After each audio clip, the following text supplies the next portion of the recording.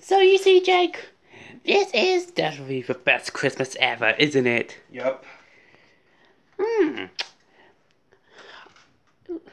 I basically got some curling pads, chocolate oranges, maybe just three, an MP3 player, a brand new keyboard and a mouse, matchmakers, shower and bath oil, hmm shower gel, and everything I need.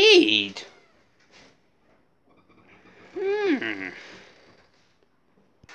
And Jake, what did you even got? Window what? Chocolate, M&M's, peanut, Oreos, pink Smarties, and two giant smart, uh, but giant buttons, white chocolate. Yes. and milk chocolate, yeah. Oreos, Wonka Nerds, and anything else you need. Including the MP3 player, all you needed, with a case on it.